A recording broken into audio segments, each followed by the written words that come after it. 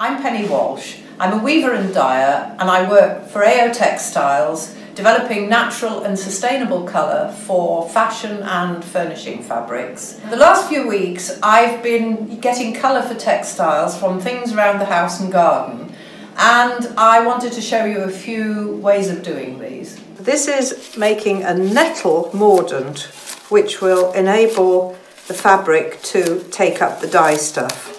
So it's a pre-dyeing process. Pour enough water so it'll simmer put it on the hob and leave it to simmer for about 20-25 minutes. This is a copper mordant made from copper coins. So the coins just go into the bowl. I've used some of them before so they've got a bit verdigris, they've got a bit of blue. Half and half vinegar and water. Pour it onto them and just leave the copper to leach into the liquid. You have to leave it for a day or two for that to happen. So that's the copper mordant. So now we're going to make an iron mordant and I've got old horseshoes but it could be old nails or anything, old locks, anything that's made of iron and it's two parts water to one part vinegar and again pour it onto the iron material, make sure that it covers, and this has to be left for one to two weeks in order for the mordant to form. So these are the three mordants made out of things from the garden and the house. This is the iron which has soaked for two weeks. This is the nettle which has simmered and now it'll be strained and we'll add some water to it. And this, these are the copper coins, which we'll remove the coins from. And then we'll add water, that's the nettle, the iron, the copper coins. Then we put some yarn in each one. We put them then to simmer on a very low, that's tencel, this is wool, and these are pieces of cotton.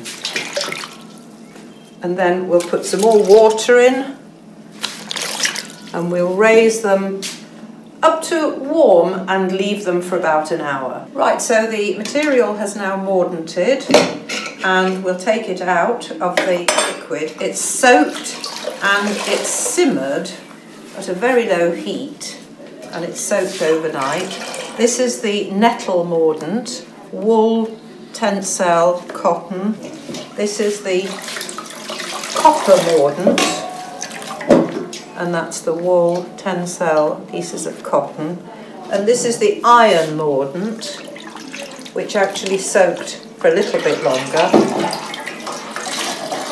And now they're ready to put into the dye. Now we're going to do the dye stuffs prepared from things around the house. So this is avocado pips which have been boiled for about an hour.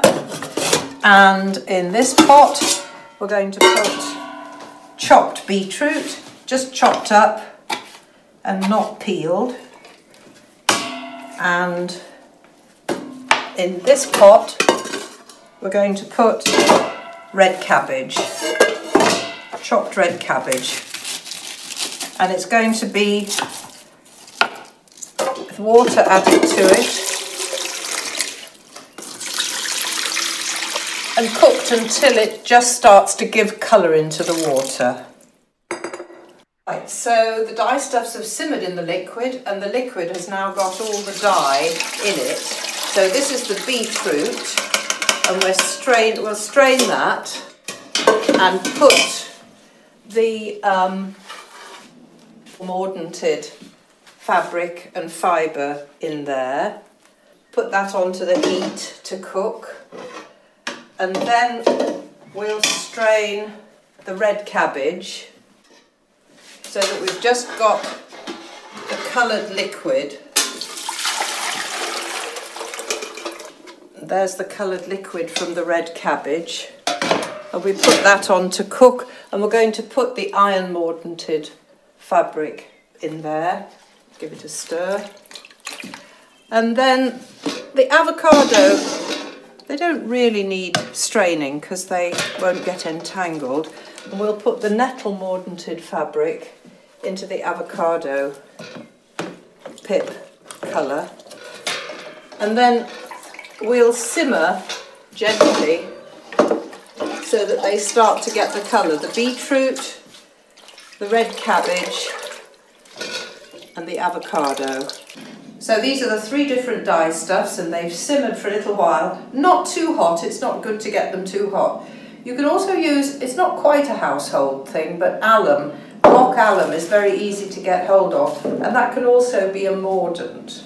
So now I'm going to take the stuff out of the dye baths and this is the um, avocado pips, this is the cotton. And wool. And the cellulose fibre. And that it makes a difference which it's mordanted with because the this is the red cabbage and that's silk, wool and cotton and that's a little bit of lighter cotton and sometimes the colour can look slightly different even on different qualities of the same fibre. And this is the beetroot which will actually get lighter, it doesn't stay quite as bright as that. Cotton, silk and wool. And a little bit of soda crystals will make it pinker. And this is privet hedge, just to give a slightly different range of colour. It's a very subtle greeny grey and it's just privet leaves to make it slightly bluish and it gives a range of very subtle greens. We've taken all the material out of the dye baths now. They've simmered as long as possible, not to a very high temperature. A little bit of alum into the dye bath will bring out even more colour in some of these dyes. This is the avocado stones with a nettle mordant on cotton, linen, wool, and tencel, which is a cellulosic fibre. This is the red cabbage, which had an iron mordant on wool, silk, different weights of cotton. This is beetroot on cotton, silk, linen, and with a little bit of lemon juice added, which makes it turn orange.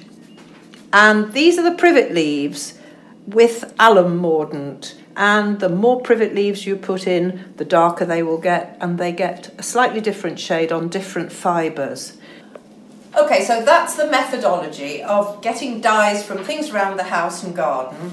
You can use lots of flowers and plant material, leaves, even things that are past their best, but they'll still have colour in them, food waste, kitchen waste, and if you're just using them for t-shirts and scarves, you don't really need to do a light test. But if you're going to do embroidery threads or weaving threads, then just leave them for a couple of days with part of the fibre blocked out and you'll be able to see how light fast it is.